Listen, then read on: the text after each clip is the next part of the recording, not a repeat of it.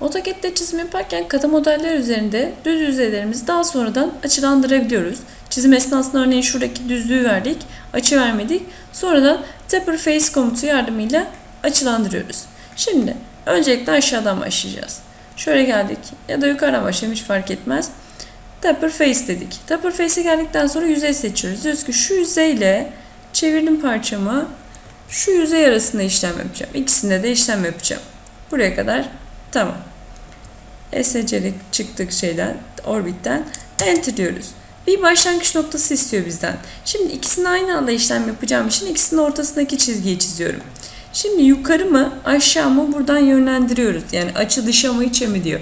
Yukarı doğru diyorum ve hemen bakın çizgi çizdim. Ee, ve açı istiyor. Örneğin diyorum ki 30 derecelik açı.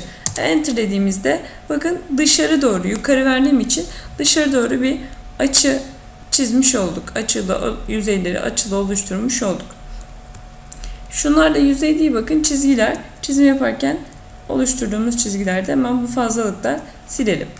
Şimdi ikisini aynı anda böyle yapabiliyoruz. Taper Face'e geldikten sonra herhangi bir yüzeyde işlem yapacaksak yüzeyi seçiyoruz. Enter diyoruz. Bir nokta belirliyoruz. Şimdi örneğin aşağı doğru istiyorum. Ve açısı da ne kadar olsun? 30 derece olsun. Enter dediğimizde bakın dışarı doğru açılanmış oldu. Aşağı doğru dersek dışarı, yukarı doğru dersek de içeri açılanır. Hemen burada yapalım. Taper Face dedik. Şu yüzeyi seçtik. Enter dedik. Bu sefer de diyoruz ki şu noktadan başlasın yukarı doğru olsun. Kaç derecelik açı? 30 dedik. Enter dediğimizde bakın şöyle yüzeylerin birbirine paralelliği oluşmuş oldu. Hemen şu fazla çizgileri de silelim.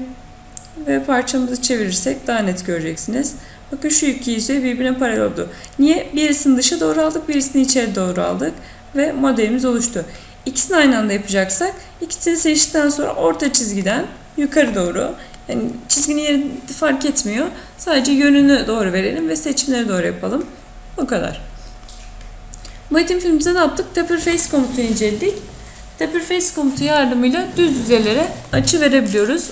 Oluşturduğumuz modellerde AutoCAD 2013'te.